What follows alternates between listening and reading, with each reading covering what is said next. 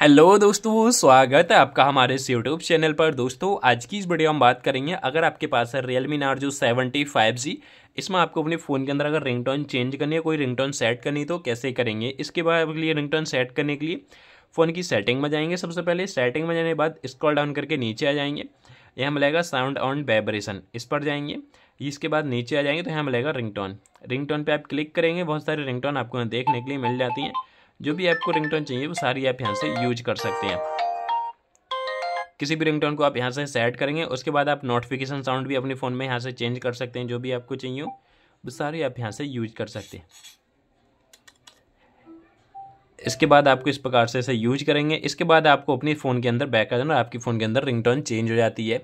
अगर आपको वीडियो अच्छा लगा हो तो लाइक करें शेयर करें और चैनल पर नए हो तो चैनल करें सब्सक्राइब तो मिलते हैं आपसे फिर किसी नेक्स्ट वीडियो में।